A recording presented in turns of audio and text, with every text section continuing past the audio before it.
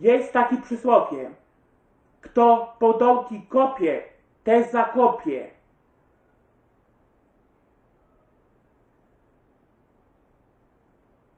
Ja tego nie umiem yy, przesł... Kurde. Przesłowie.